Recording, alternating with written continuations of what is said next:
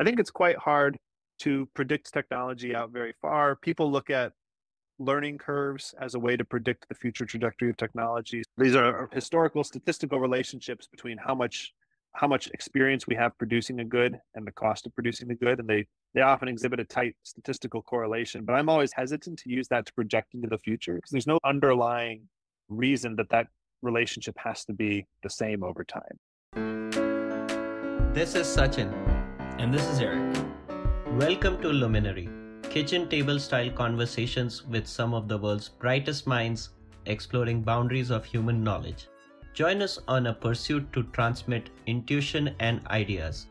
Find us at luminary.fm or on Twitter at luminaryfm. We would love to hear from you. Why are technology and software an integral part of change and shaping the world around us? We seek to dissect this question in the second season of Luminary. It's arguably at the heart of defining our trajectory as a civilization. Through a vast series of topics, our ambition is to weave a narrative incorporating a social, technical, historical, and philosophical lens, with contributions from titans of technology, theorists, builders, and tinkerers alike. If you have ideas, feedback, or simply suggestions for who to talk with, drop us a line on Twitter. The spirit of this journey is collaborative and community oriented.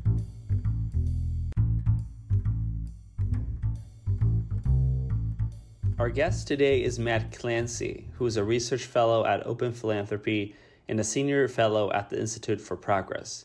He maintains New Things Under the Sun, a living literature review about innovation. Our conversation with Matt gravitates around the state of knowledge of technological innovation. We talk about inputs to innovation, models of innovation, the discipline of progress studies, and ways to measure technological progress. We also cover the relationship between policy and innovation.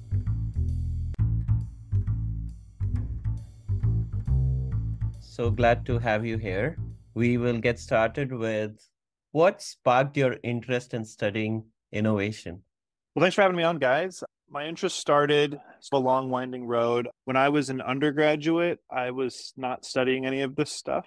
I was studying physics and religious studies. And I realized very quickly that I didn't want to do either of those things for the rest of my life. Eventually, I discovered economics, which I didn't really know anything about, like my last year of undergraduate, and thought of it as this field that uh, it's really important. It affects humans' lives, but it also is quantitative and has to do with human beings, which was something I was interested in. I originally wanted to do economic development type stuff because this seems like a very impactful kind of way to do economics. But uh, I got sidetracked getting convinced that the thing that affects differences in living standards over the very long run is technology and so starting to think about where does that come from and i never really looked back once i started to get obsessed with that question of where does technology come from and, and what drives it forward. I'm curious what path you took after that. So you discovered in your last year that economics is something you might want to pursue. The university of cambridge in england has this great program called the Diploma in Economics that is a one year program for people who did not study economics but want to study economics in graduate school. And so it's like a compressed undergraduate education in one year. So I did that. Then I worked for a couple years as like a forecaster, sort of an analyst. Then I did a master's at London School of Economics, came back to the States, did a PhD in economics, where I focused on the economics of innovation and then my first job was at the Department of Agriculture in the US, where I worked on science policy stuff. And that's the concrete path. My path got unusual. So I worked at the Department of Agriculture. I was a research economist. And then I worked at Iowa State University, where I taught economics for a few years. But then I started this. Originally, it was like just a newsletter, but it evolved into this I call it like a living literature review about the economics of innovation and science and all social science related to innovation. And that project went from being something I did on the side to something I started to get grant support to do and buy out some of my time. And yeah, that's my main claim to fame now.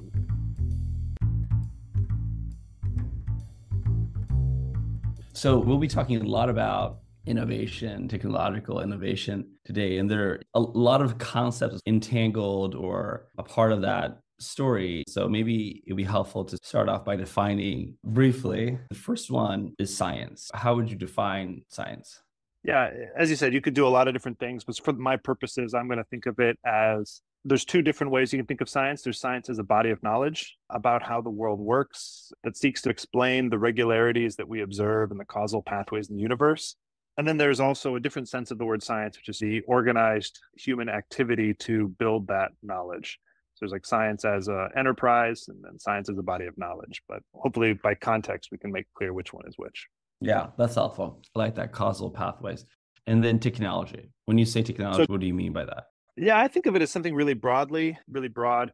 There's this economist, Brian Arthur, and I like his definition that it's an orchestration of natural processes or natural regularities for achievement of some human end or some human purpose. So we leverage the fact that steam expands, for example, under heat to drive a piston. That's a natural regularity. And we bundle that with a bunch of other sort of principles and regularities in nature to make an engine that can do work for us. But it, it can be really broad, like human purposes is just intentionally a little bit vague. Anything that we care about doing, we're going to count as a technology. Yeah, and I think that's helpful. Let's talk about innovation. How do you think about that? another thing where there's lots of different senses of what people mean by the word innovation. So, in some technical domains to really focus on this distinction between invention and innovation.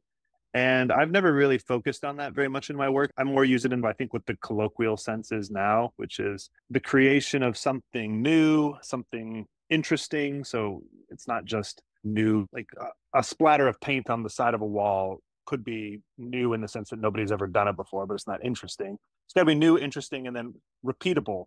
So it's not a one off event. It's something that is a principle that we can then apply and do over like a new kind of technology, a new blueprint for a way of doing things, or so on. So that's how I think of innovation in this sort of most abstract sense. But there, there's also this other sense where it's about commercializing inventions versus inventing things. And those are definitely important separate activities. But I think most people think of innovation as just the creation of new technologies or things like that.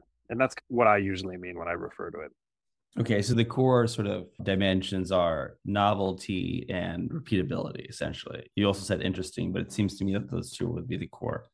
Right, right. So a volcano erupting might be new and interesting, but it's not like a repeatable phenomenon that we can use that information somehow to do it again and again on on different mountains. Maybe I don't know. That's that's kind of how I've always thought of it. Like.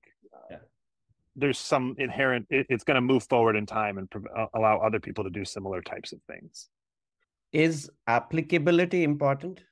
I squeeze that into interesting. Like interesting is another sort of vague catchword. Do humans care? The reason I don't say like valuable is sometimes inventions take a really long time or scientific discoveries take a really long time for their value to be manifest like Riemann geometry, geometry of more than three-dimensional surfaces is interesting perhaps. It didn't necessarily seem useful. I would think of it as an, an innovation even though it's not necessarily a technology. But then decades later, Einstein wanted to find a math that could describe a four dimensional universe, and he was able to use Riemann geometry to do it. This is, as I understand it, I'm not, I didn't get that far in my physics actually. But anyway, so it just took a long time. And then now we see, oh, Einstein's theory, we, it's like actually used in some applications. GPS satellites move fast enough and so on that you need to have relativistic effects taken into account. But it took a long time for the applicability of math on more than three dimensions to be recognized. But it was still interesting, so I'm still going to count it as an innovation. Lastly, in terms of the pure theory, how do you conceptually situate technology and innovation? What's the relationship? Yeah, I think uh, for in my mind, it's it's not anything too complicated. Like technologies are born from innovation, basically. New technologies, when they come about, we call that I colloquially call that process innovation. Other people would focus on innovation is when a technology gets commercialized and diffused and applied, and it's not just sitting on a shelf somewhere in a laboratory. And I think that's certainly an important phenomenon. But I don't know. I just use the more. I think I use the more common, less technical definition when, in my writing and so on. I like the way you crisply uh, talk about this stuff.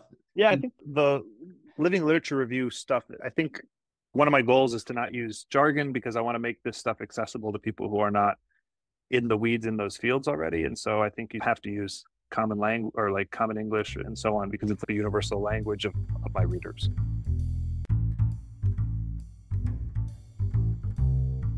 So before we go further, we'd like to step back a little bit and talk about, I guess one could call it a discipline or domain of progress studies. We'd love to hear your perspective on what is kind of the state of affairs of progress studies and maybe start off by defining or talking about what is actually progress studies. Yeah, I think progress studies is sort of it's a little bit of a confusing name because it's not like an academic field really it's closer to i think a community of shared interest that sort of has this ethos of progress and technological and not only technological but i think the emphasis is often on technological progress. It was born in a atlantic article written by tyler cowen and uh, patrick collison where they coined the term and they said we need a new study of progress. And i think that article galvanized a bunch of people who were looking for someone to articulate this this kind of view and they got to know each other. There was a slack channel. They started to get to know each other. They held conferences. And anyway yeah over time this kind of group focused around celebrating technological progress and thinking about how we can do it faster and so on came together and i think there's a couple different strands of how this has become concrete there's a large group of people who blog and write online with this broad perspective I would say I'm in that camp. What I do is inherently biased towards being optimistic about technological progress. It doesn't really tend to focus on the potential downsides of technological progress, although we can talk later at some point. I have to think more about that in my newest job. I work at Open Philanthropy now. But anyway, so I was part of that. The Works in Progress magazine was another station of online writing, trying to push this perspective and bring together lots of different academic disciplines and angle them towards what they can concretely tell us about how we should take action in the world to improve things instead of just understand things. Jason Crawford is probably the most famous sort of leader of the movement. He set up the Progress Forum, which is like an online website where people can talk about this stuff. And he heads the Roots of Progress, which is an organization that's promoting this stuff and has just gotten a new CEO and is going to be expanding its activities. And then I think the other most concrete instantiation of these ideas is the Institute for Progress, the think tank, which was I worked for them as the senior innovation economist a bit last year. They're a think tank that's mission is to accelerate scientific, technological, and industrial progress. They're based in DC and they're focused on high skilled immigration. They're focused on reforming how science is performed in the United States and how it's funded.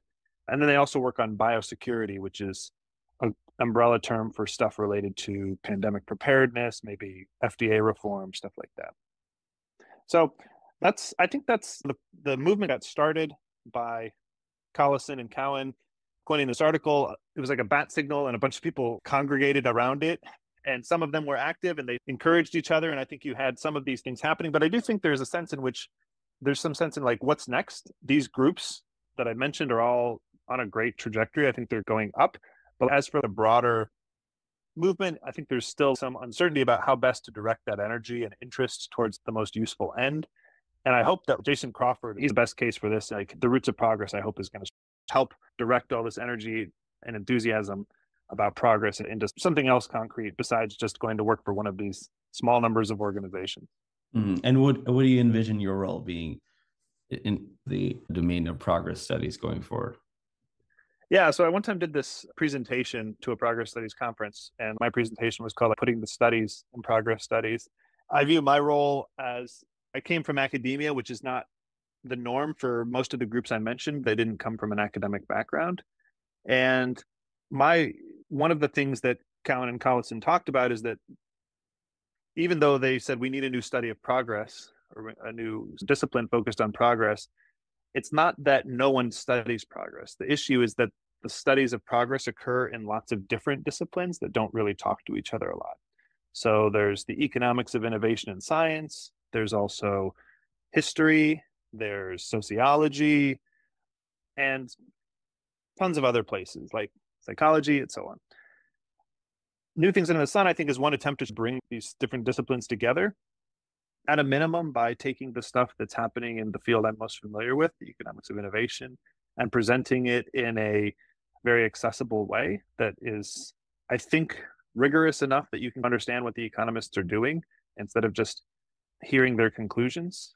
I also try to follow social science in other disciplines, but I think it's that's a bit harder for me to do. So that's one thing I do is just try to communicate what we're doing in in my field and also present it with a little bit of an angle of so what? How do we take this information and do something useful with it? Maybe people who are very applied think that I'm still too far up in the ivory tower, but I think compared to some of the ivory tower people, my focus is more applied and I think that's one reason why I wanted to work at a think tank that's trying to do reform and why I now work at Open Philanthropy, which is another organization that's trying to take academic studies and actually use that to make decisions in the world.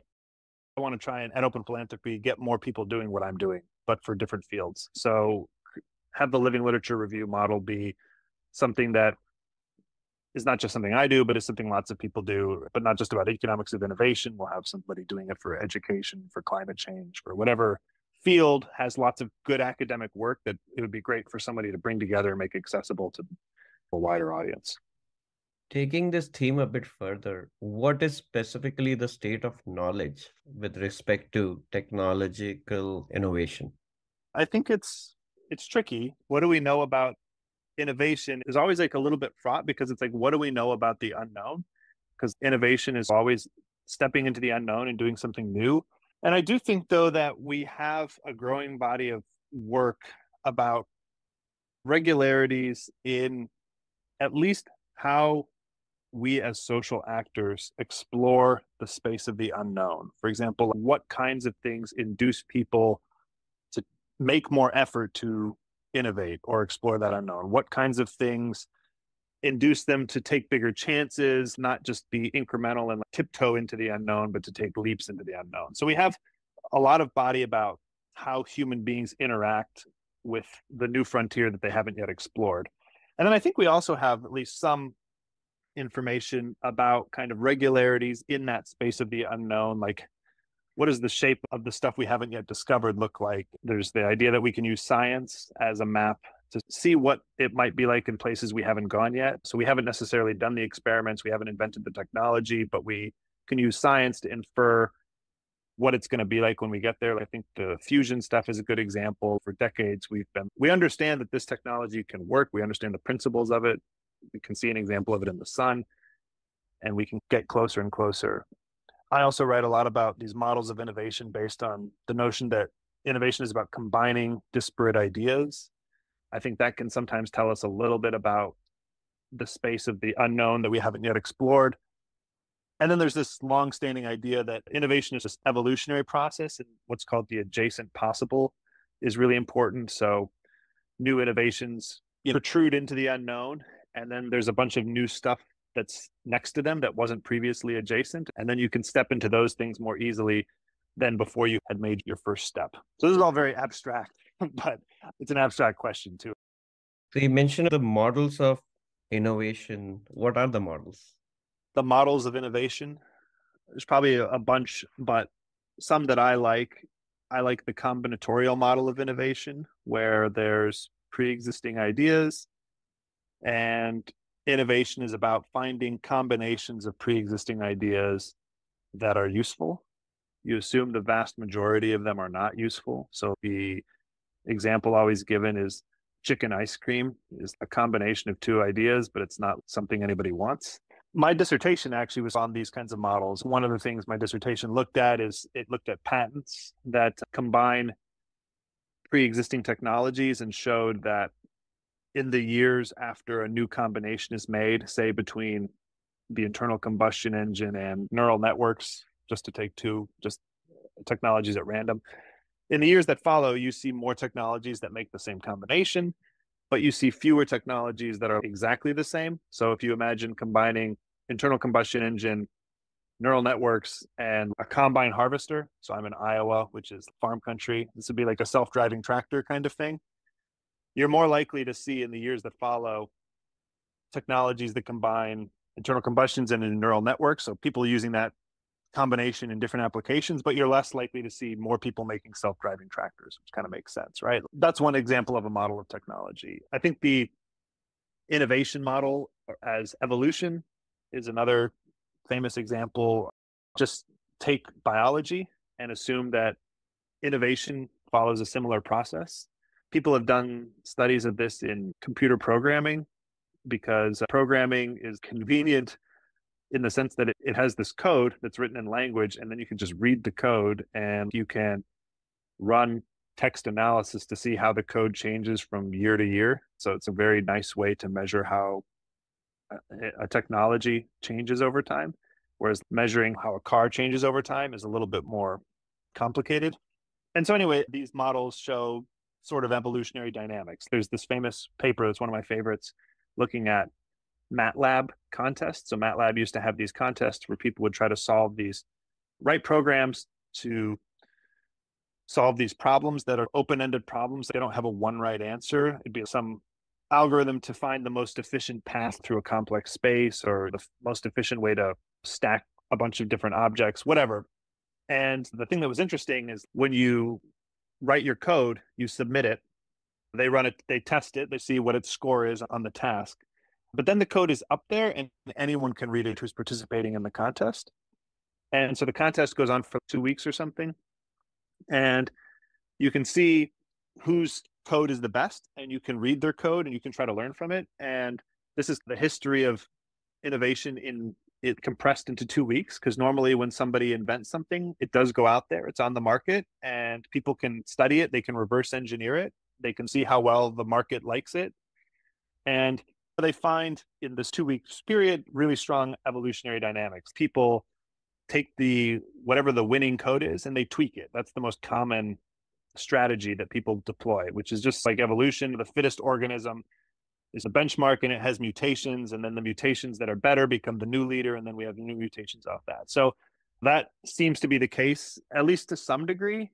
It's not the whole story. Even in these little matlab models there's some things that are not like biology they have these weird large combinations where people will take a whole block of code from one program that's very different from another and they'll combine them and that's not something evolution does nearly so often. Just take a huge chunk of code from birds and combine it with squirrels to get some kind of flying squirrel thing. Each one has to evolve down the path incrementally, bit by bit.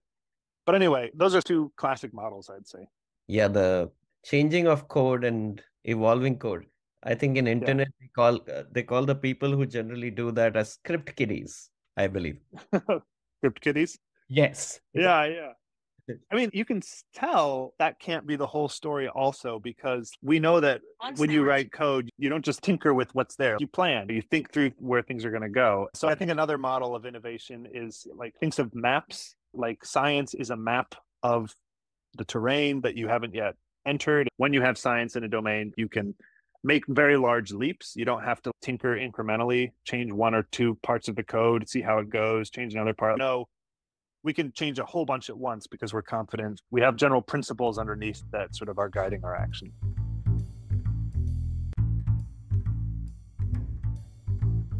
What have you observed as it relates to how innovation in technology causes change in human behavior?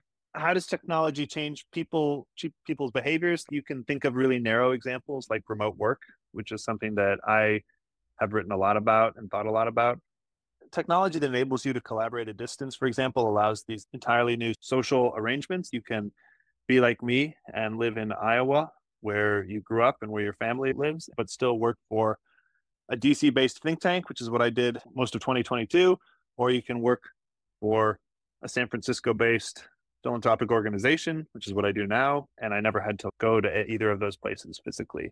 I think more broadly, as an economy becomes richer as technology enables more specialization and eh, we can get more out of our labor and we don't have to just work so hard just to survive you get huge changes over time in terms of how people live their lives and what they choose to do with their lives and how many people can afford to get educated can participate in the arts lots of stuff. Once you just start to have a bit of surplus in society it opens the floodgates.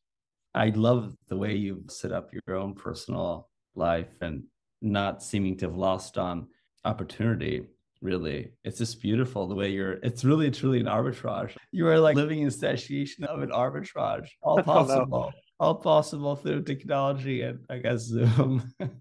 Yeah. Yeah.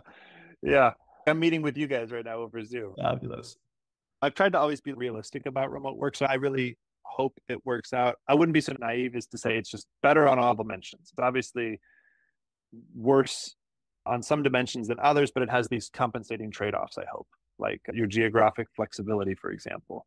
And from a firm's perspective and from an innovation perspective, I like to emphasize that it lets you build a team of people who are draw the best person for the job rather than the best person who's in your local labor market for the job.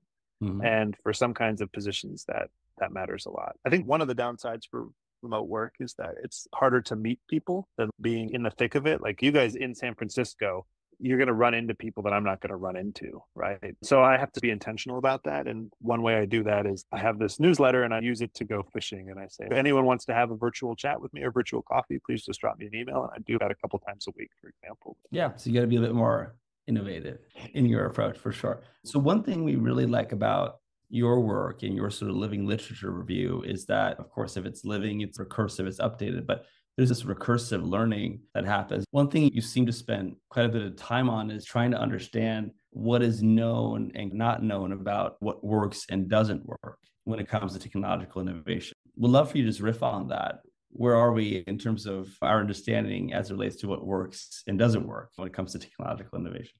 Yeah, I mean, there's we know a bit about a lot of stuff, I'd say. Very few things are really nailed down. If you think about the pieces of the innovation pipeline, you could think of each of these in turn. I have this article that's trying to synthesize this, and I just updated this a month ago now. So it's fresh on my mind. It was about how to accelerate technological progress, but really it's cutting the innovation pipeline into all these different pieces. You can start with human beings. Who are the actual agents doing the inventing? And now it's human beings. In the future, maybe it'll be AIs and stuff like that. What do we know about that? One theory is if you have more human beings, you should have more innovation because you have more brains working on a problem, more specialization. We have some evidence of that, especially from prehistoric times. It's a tricky question to answer because you can't just say, let's look at New Hampshire versus Texas versus California and see which state is more innovative because all of these people are living are in a connected innovation ecosystem. They can move, they can talk to each other. It's not really like they're separate. For you to study this problem, you need separated human communities that don't communicate. And that's not really been possible for a long time. Certainly since the internet, you could argue since the discovery of the new world. So there's papers that looked at different islands in Oceania way back when and showed that the islands that have a bigger population have a more complex set of technologies and so on. But we don't know for sure. We don't have that many observations. So that's an example. We have a little bit of evidence, but we don't know that much. And then you turn to what if we could have AI do the inventing for us? We have theories, but it's like really hard to know because it hasn't happened yet. How well could they invent for us? I don't know. Then the next part of the pipeline and innovation is you have to have even the idea to innovate. So you have a bunch of people, but for a long time they weren't spending their time innovating. They weren't doing much. And why was that the case? There's a lot of interesting evidence that the notion that you can innovate is not something natural. What is innovation? It's sort of like I have some problem and I'm going to try to solve that problem in a way that nobody has solved it before. And I think most of the time when you have a problem, that's not what comes to mind. Most of the time when you have a problem, you think, what have I done in the past? What have other people that I know done in the past to resolve this problem? And you have this set of options and you pick from one. And the idea that I'm actually going to set all those options aside and try something that no one else has done is something that's pretty foreign. And so this economic historian Anton Howes, he argues that sort of this idea was one of the most important things that was born in the industrial revolution. That's why things really started to change is because this idea that you could do things differently than had been done became very popular and he has evidence showing that inventors inventors usually started inventing after they interacted with some other inventor. So there was this social contagion. This inventor was doing it and they demonstrated as a proof of concept look here's a thing you can do. You can solve problems new ways. You don't have to just do it the old way. And in the contemporary world i think we have really good evidence about this from entrepreneurship really strong evidence that people don't entrepreneurship is a little bit like this problem where am i going to go work for an organization that already exists or am i going to found a, a totally new organization and it doesn't seem like people naturally think of just starting a new organization but being around other people who have especially people who are like you It's this idea that this is a possibility. So, anyway, that's an, another area where you've got the people, then you've got to think about how do they decide to innovate in the first place? And then once they decide that they're going to be open to looking for new solutions, what are the things you can do to make that process work better or make them more likely to choose that option? One that we've kind of alluded to already is knowledge. So there's a bunch of work on how well does science affect innovation, knowing how the world works. How does that improve or not improve the rate of innovation? And I think we have pretty good evidence there too that the rate of science if we invest more in science it tends to lead to more r&d but again the evidence is not as strong as we might like not in the sense that there's a lot of evidence showing science is useless but we just don't have these are hard problems and we don't have the quality of the evidence we have isn't as good as i would like anyway we have evidence from correlations you spend a bunch of money on science say in agriculture and there's papers that show 20 to 50 years later you get these boosts in agricultural productivity. So it's like a correlation in the data, but it's a really long time lag. So that can be a tricky relationship to pick up statistically. You've also got papers that try to do this with citations. So they look at patents, which are one imperfect but readily available measure of new inventions. And you say, all right, well, did they cite scientific articles? And if they did, that sort of is an indication that they drew on scientific ideas. And then you've got some small number of natural experiments that are really cool where whatever reason maybe a geopolitical war or some other geopolitical event like science was stopped or science surged forward and then you can see what happens to invention related to those fields and they all point to the same thing so anyway this is my third piece in the puzzle knowledge helps another piece of another big part of the stuff that people study is suppose you've got knowledge about how to invent how do you you got to get it into the head of the person who's trying to solve the problem that the knowledge is related to. So the scientist is studying how something works, but often they're not the inventor, they're not the one inventing something. And we want the inventor who's trying to solve the problem to get that piece of information that helps them solve that problem. And so there's studies on the effects of founding libraries back in the 1900s and comparing towns that get Carnegie libraries to towns that didn't get Carnegie libraries that we think are pretty similar for various reasons, and showing that getting a library increased the rate of innovation as measured by patents in that case. There's papers looking at Wikipedia. There's papers that don't look at written knowledge, but look at the knowledge that human beings bring with them. Immigrants from other countries, where the country that they're immigrating from has a really strong, innovative industry, a better than average, say, chemical industry. There's this paper looking at Germany. They dismissed all of their sort of uh, Jewish scientists. A lot of them emigrated. Germany was super strong in chemistry. A lot of them migrated to the United States, and they show that this planted seeds for this booming chemistry industry in the United States. And it wasn't just because the chemistry that these German scientists were doing in Germany now is happening in the United States. It's new chemists who are US citizens, learned chemistry from the Germans and basically picked up the ball and, and ran from there. And then lastly, there's a big literature on like how cities and office places serve as a place to mix ideas up and learn about knowledge that's relevant. One way to think about it is was the US versus Soviet Union a good case study in terms of what works and doesn't work when it comes to technological innovation? I mean, I think that my c- conclusion is that innovation is a social system and there's just a lot of pieces to it, and all of them contribute a little bit. People, knowledge, how you circulate knowledge. The thing, the big difference between maybe the US and the USSR is maybe the incentive system we used to incentivize innovation. I think that certainly matters, and we have evidence that that matters. But then, even stuff like how you organize the team, how you organize your organization, and you know, create a a culture of open collaboration, or you have these hierarchical teams, or you have them remote or in person. These kinds of questions also matter too. So it's tough to say the thing that matters for innovation is X. I think the the thing that matters for there's lots of things that matter for innovation, and I guess the key challenge for a policymaker is to find the ones that are being bottlenecks at the moment and try to tackle those ones. So what that bottleneck will be will be different in different sort of societies. I guess let's kind of invert it and what what does not work? You know, what what do we clearly know doesn't work if you want to achieve technological progress? So I think again, it's the same story, the bottlenecks, but I think you can also illustrate this the other way. If you are targeting something that's not the bottleneck, it doesn't work. So, for example, if you want a radical new kind of innovation and the science and the underlying knowledge is not really there, it doesn't really matter what else you do. You can create super strong incentives to develop the technology.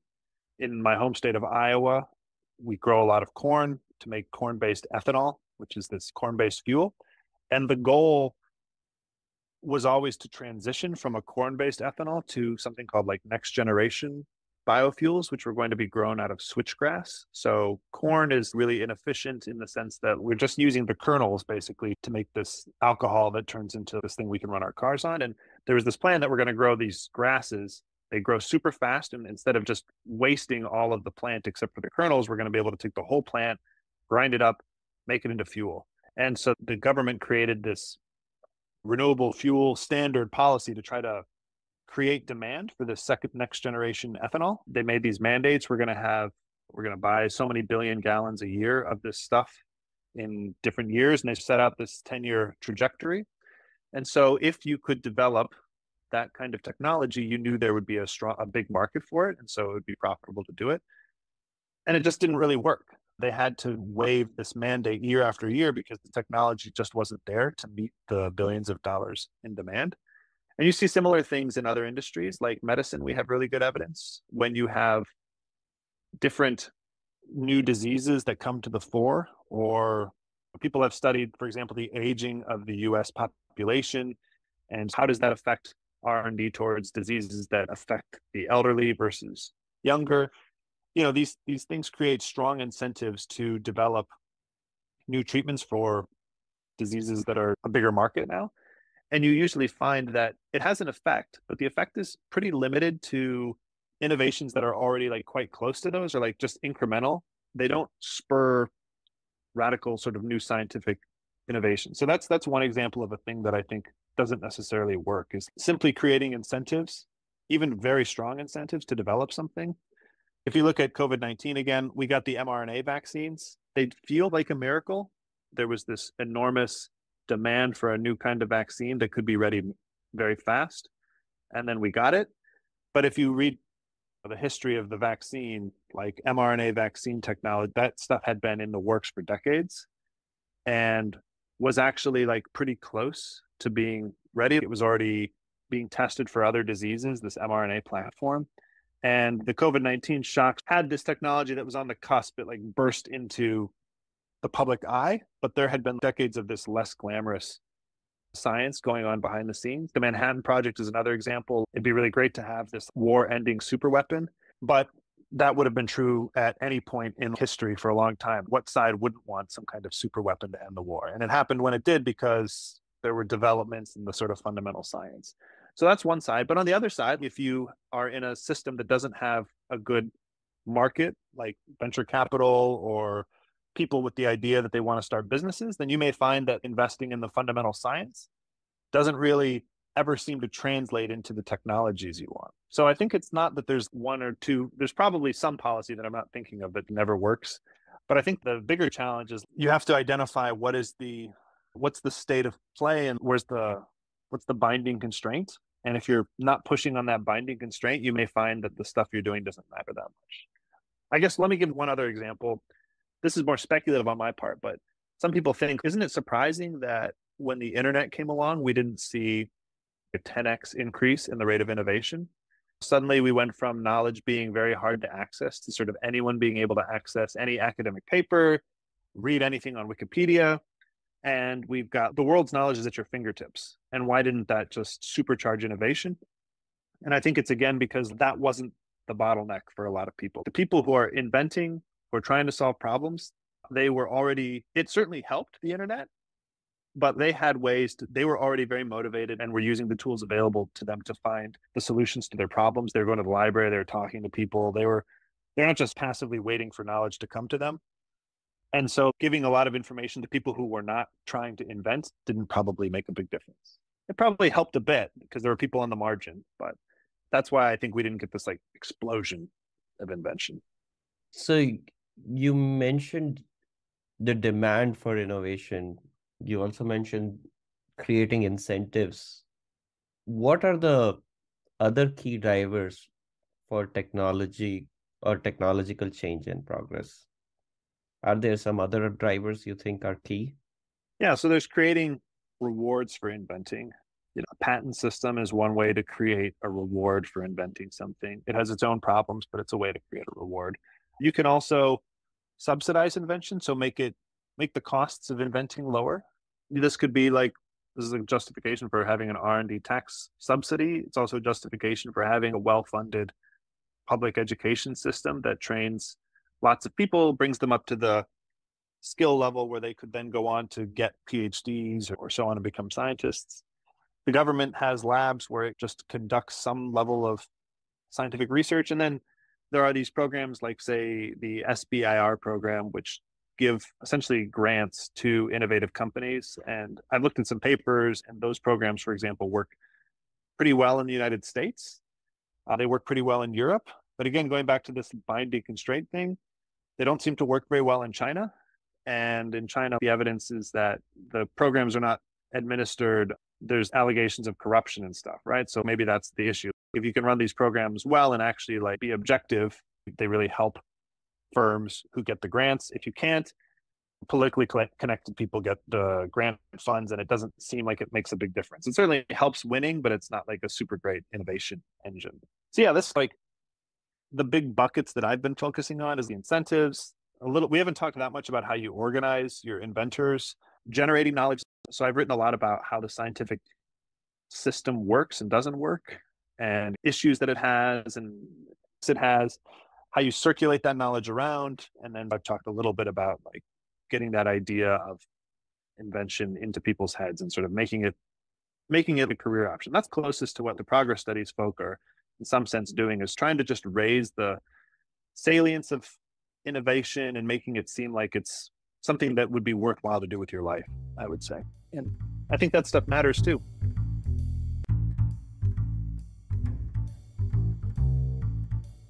how will you measure technological progress?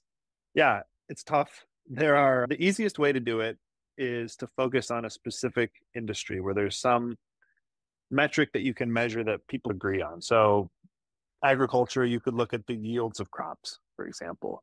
If you're doing, if you're studying Moore's law, you can look at how many circuits fit on a, a microchip or something. If you're studying health, you can look at probability of surviving different diseases or just even the years of life people how long people live so on. But all of that stuff is it can be a little bit misleading too because it's not ultimately what we care about. Anytime you fo- you could focus on yields for example in agriculture and be well yields are slowing. The yield growth is slowing. Does that mean technological progress is slowing? Or does it just mean that people are focusing their efforts on something besides increasing yields? Like in agriculture, GMO technology lets you use less insecticide because now the crops themselves will kill the bugs. And so that may not show up as yields, but it's still a technological innovation that matters. So one way you can get around that is you can go a little bit more complicated. Rather than just tracking one of these numbers over time, you can try to do something multidimensional and look at several different dimensions of something you care about and create a statistical relationship between them and watch how that relationship changes over time. So this has been done pretty well, I think, in the automobile sector, where they'll be like, what do people care about in their cars? Lots of things, but we could look at torque, we could look at horsepower, we could look at the weight of the car, we could look at fuel efficiency, all these different characteristics. And back in the 1970s, there might have been some trade off. If you're going to have increasing fuel efficiency, your horsepower is going to go way down.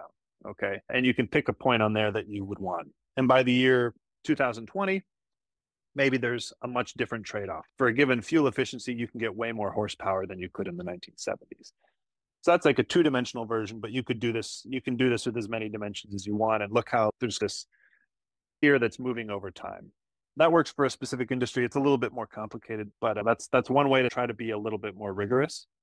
Another way you can do this, you can go even further. Economists have this statistical construct called total factor productivity that's pretty common to measure innovation. It's kind of a measure of think of technology now as a way to transform some set of inputs into an output. So, how do we transform human labor, electricity, capital, into cars, for example, steel, all that other stuff. And if we can find ways to transform less, we can get the same number of cars using less electricity and less human labor, then that indicates there's been some kind of technological advance in the car production technology. Okay. And so total factor productivity is the way to you measure all the inputs, you estimate a sort of mathematical relationship for how many outputs they give you, and then how that relationship changes over time is like a measure of technology. It's in it's imperfect because lots of things can affect it can be affected by things besides technology. So if you hire a more educated workforce maybe, maybe they can produce more cars for the same number of workers but unless you're measuring education as one of the inputs you might that might be a, hard to do. So anyway you can do it. People try to do it. A little dissatisfying because it's a little bit of like statistical wizardry and you always have to ah. worry about this stuff. More broadly stepping back and assessing the technological progress of the human species to what extent is gdp or gdp per capita an accurate measure of technological progress and, and what can we do to sort of adjust or amend that to make it more granular or accurate? Yeah, so this is a great example. Like over the very long run, GDP per capita or GDP is really useful. GDP per capita is like taking total factor productivity, but we're going to get closer to the ground and have less less sort of abstraction, less statistics in there. So like this is wealth per person, right? And the concern with just using GDP per capita is you can increase your wealth per person by for example, investing in more capital, right? So we give everybody more tractors and they can grow more food, but we didn't actually invent better tractors. We just gave people more tractors. And the argument for why you don't, why you want to not look at GDP per capita. But in the very long run, that argument doesn't really hold because the capacity to to find useful things to give people starts to become more important. Right, going from giving people shovels to giving people tractors is an increase in the amount of capital we allocate per worker. But the fact that we figured out how to invent tractors mm. matters and we found a useful thing to give the people to, to work. Similar GDP is dissatisfying because GDP can increase just because you have more people. And that's why like people prefer GDP per capita. But in the really long run, the number of people that can survive on a given part of land is a function of technology too, right? As agriculture gets more efficient, and a given part of parcel of land can support more human lives that's another measure of technology. Just the size of the population the earth can sustain is the measure of how good we are at, ex- at extracting resources from it or not always extracting we have renewable energy and stuff. So in the shortest run you want to look at total factor productivity and then if you want to step back and be like we want to think also about the invention of totally new things that we would measure total factor, factor productivity of. Then I think GDP per capita becomes better. And if you want to think like millennia wide, you start to think, well, let's just look at GDP, the total wealth that we can generate. Because in the past, we actually were not able to increase GDP by having more people because we didn't have the technology to keep those people alive. We were too inefficient. The trouble is, over the really long run, GDP you can calculate it, but it's really hard to once goods become once the basket of goods you can consume becomes so different. If I'm living in 1000 BC versus today, how do I adjust the quality of my cell phone down to something that is like comparable to the people in 1000 BC is very tricky. And then, yeah, you can look at other indicators like health. How long do people live? We can be more objective about that. And you can take this dashboard approach. There's a really cool study by uh, William Nordhaus where he looks at how many hours of labor it takes you to produce one lumen of light. So that's something that we can measure for millennia. Like you've got to tend your campfire all the way to, to how much labor do I have to put in to afford like one lumen of light as coming from an LED, and it's infinitesimal almost. How predictable is technological innovation? It's a good question. I wrote a huge piece about this about path dependency in technology wasn't so much about predictability, but more about inevitability. So it may be that we can't predict where it's going to go, but it's always going to go in the same place. And if we reran history, we would always end up in the same place.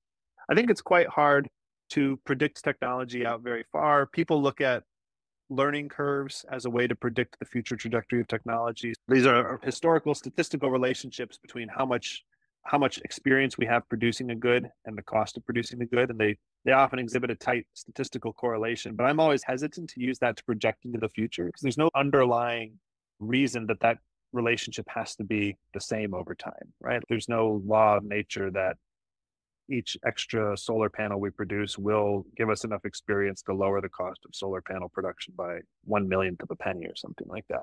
So, anyway, people use these things. They're okay for, they seem to work reasonably well for a really short time period. Over the very long run, when new stuff gets invented, it's just like super hard to predict. And yeah, I wrote this super long piece looking at all the different arguments for how inevitable is technology. Do we really, is there really much plasticity in where we end up. If we rewound the clock, say 100 years or 500 years, and let it run again, would we have similar technologies? Like I'm talking to you on a laptop, would I have something like a laptop or would I have something very different? And sort of my conclusion from all that is the timing and the details of technology probably ch- can change a ton. So maybe the laptop would have been invented 20 years earlier, maybe it'd be invented 40 years later. Maybe it wouldn't even be a laptop. Maybe it wouldn't ha- it wouldn't have a QWERTY keyboard. It might have completely different input. But would we have invent, eventually invented something like computers? I suspect so. Would we have discovered electricity and used it to power a lot of stuff? Probably.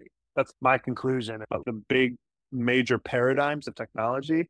They're probably more or less inevitable, I think. Maybe you can skip one.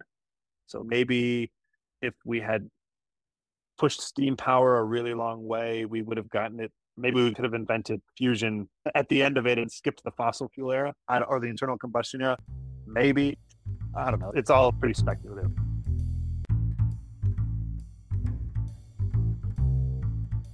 Nonetheless, speculative and incredibly fascinating. Yeah. So we'll, we'll talk a bit more about policy. And we've been talking implicitly about institutions, I think, throughout our conversation. One aspect of institutions is just sort of the policy aspect, what do you think is the relationship between policy and technological progress? How much can the nation state impact technological progress? So I think that one bad policy can just totally screw things up. It may be hard for good policy to move you from 1% growth to 4% growth, something like that. But policy is very good at ruining an economy, right? So you want to avoid the bad. And that's not even so much like a technological innovation thing, that's just an economic development question. But on terms of technological progress, I think one thing is the regulatory environment that a country has can matter for how easy it is to deploy technology, start businesses, and all that stuff. I think in the long run, the real area where policy starts to matter more and more is on the science side. I think over time, technology becomes more intertwined with science. If you go back 100 years ago, it's possible to invent a lot of inventions via tinkering and being an individual who's just interested in this stuff. But as time goes on, this burden of knowledge problem that I've written about before, where it takes more and more knowledge to push the frontier, starts to loom large and you have to have more specialized knowledge and you have to have you have to draw more and more on science to figure out how to do things because stuff just gets harder and there's a lot of reasons why the government tends to play a dominant role in funding and organizing science. It's just very hard. It has tended to be hard to run a super profitable business also off of heavily scientific research based. And so how you organize science starts to matter more and more. And that's something that we were really focused on at the Institute for Progress was how do we it's like micro stuff. Like how do we disperse grants? How do we pick how does peer review pick which projects to fund? How do we disseminate results? But I think the bigger question is as government becomes more and more plays a bigger and bigger role in, in technological innovation in the economy in general, you have to have systems for making government work well even though it doesn't have i'm an economist like the disciplining the discipline of the market right so firms have this like really strong incentive to themselves well because they can go out of business if they don't and government doesn't necessarily have that. So how do you create? How do you avoid sclerosis, the rise of bureaucracy, and this kind of stuff that strangles it? I think those are important, increasingly important questions, but also not intractable. There are actually like things you can do to make your government organizations more effective. One thing we're trying to really push at the Institute for Progress was creating this culture of using experiments to evaluate your internal processes, sort of like big tech firms use A B tests to test different ways of doing things. And this is one way to get feedback if you're a large organization that's not necessarily facing imminent demise if, from like your competitors, right? You do internal experiments and you learn from that and, and so on. So that's one example. And on a global basis, which country or geographical nexus do you believe is going to be successful as a technology leader in future and why? It's hard to bet against the United States. We've got we just have this kind of sinkhole where a lot of the world's talent flows into the United States because that's where all the talent is. It's a self-amplifying loop. As long as we don't screw that up, I think that's probably going to make us continue to be the R&D laboratory of the world just because innovation is a team sport. It's increasingly it's a thing that you have to do with collaborators. There's some evidence that the quality of innovative output on a team depends not on who's the strongest person on the team, but who's the weakest person on the team. And in that environment, that's really that promotes really strong assortative matching. There's high returns to matching only with the best types. And so again, that's if the United States is the sinkhole sucking in a lot of talented inventors and scientists, and they want to work on the team with other excellent people, that's where they come. Doesn't have to be though. The UK is is interesting. They seem to be experimenting with a lot of new sort of scientific I don't know organizations. They're trying to open themselves up to immigration themselves, and they've just launched this ARIA program, which is an effort to copy or take inspiration from the DARPA models and stuff that the United States has. But anyway, it's just nice to see them trying new and exciting things. And then if you go to this idea that having more people is is better, then you can start to think, well, you know, India is highly educated and has a lot of people and is reasonably plugged into these innovative communities in the United States. There's some evidence that when people from a country migrate to another country, you know, they form these social connections between them and so on. And so I think that uh, some of that could also be helping. Anything you want to say in terms of US trends or bottlenecks as it relates to technological progress? I guess one way of putting it is are you optimistic or are you a pessimist or an optimist as it relates to US policy with respect to technological innovation? Yeah, I'm a cautious optimist. The US in the last year has launched two new innovative federal agencies. ARPA H is another effort to take inspiration from DARPA and apply it to healthcare. It's been it's going to get launched in the NIH. They've created this the TIP Directorate in the National Science Foundation, which is designed to promote regional innovation. And both of these organizations seem really open to experimental, try different things, improve your internal processes. So that's exciting. And it just also shows that it's a country that is taking innovation seriously and is investing in it. So that's my my grounds for optimism. We are a country though where things can change, right? So I, it's not in the bag or anything, but I'm optimistic cautiously. It seems like you're saying the role of policymakers simply just do no harm. That's the number one thing. Yeah, I think that's like it's much it's a hard job. It's really easy to screw things up. I think we're there's a reason the United States is on the technological frontier and I think our policy environment is reasonably strong so we don't want to screw that up. But I think that it certainly can be a lot better. And I also think that as government plays a bigger and bigger role in the economy, the quality of governance starts to matter more and more.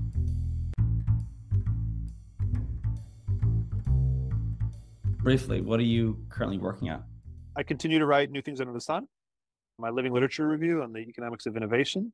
I started a new job at Open Philanthropy in November part of what I'm doing for them is helping them develop a strategy for a potential grant program in science reform, meta science, they call it, like science and innovation policy.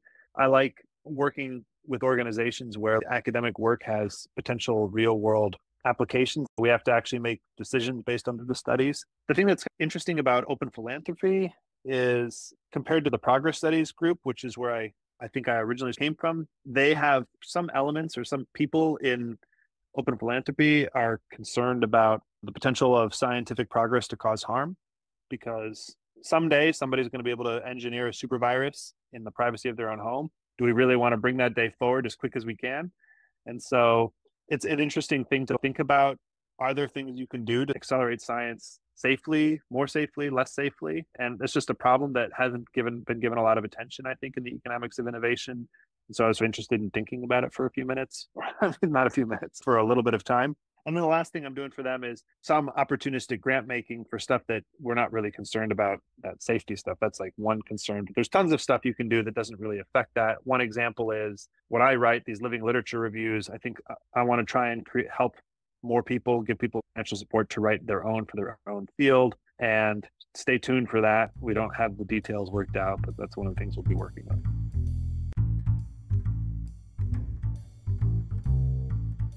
We'll move on to our last section, which is the outro section. And we try to keep this quick.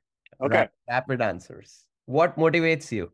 The freedom of inquiry, exploring, learning stuff, subject to the constraint that I need to make enough money to live. And I would like my work to have some impact, all else equal. Beautiful. I love that. All else equal. Which non consensus views do you hold near and dear? It may be it might be best for society for people to specialize hard in what they're best at, but it's not best for the individual to do that. And so they shouldn't do that. They should have broader interests. Go off the clock at 5:30 and do something different. Lovely. What or who has had the most impact on your thinking, career, or life? It's got to be the economist Tyler Cowen. I was reading his Marginal Revolution blog for a long time and his exploratory life of reading from everywhere, visiting all over the world was inspired inspiring to me. And then he his organization, Emergent Ventures, was the first one to give me a grant to work on new things under the sun, like in a professional capacity and not just as a hobby. And I think that really changed the trajectory of my life. Beautiful. Yeah, I love that blog as well. What are you currently reading? Well, as I was saying, you should turn off the clock. I'm rereading Middlemarch by George Eliot. I'm reading Talent, the Tyler Cowen and Daniel Gross book.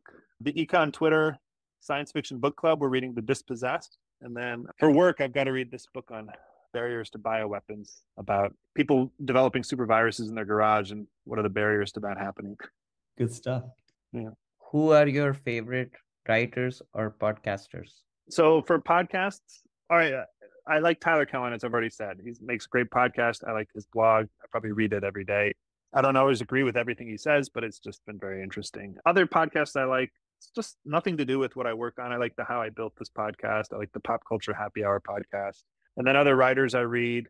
Uh, Caleb Watney, who I used to work with at the Institute for Progress, is really interesting. And whenever he puts something out, I want to read it. It's kind of a standard policy person I read. And then I like Kevin Munger. He's a social scientist who writes about science and innovation, but he has a different perspective than an economist, which I like. We hope you enjoyed the conversation.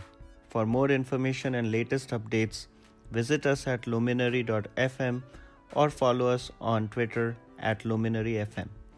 Please subscribe to the podcast, pop us an iTunes review, and share with friends. Don't forget to check out the show notes.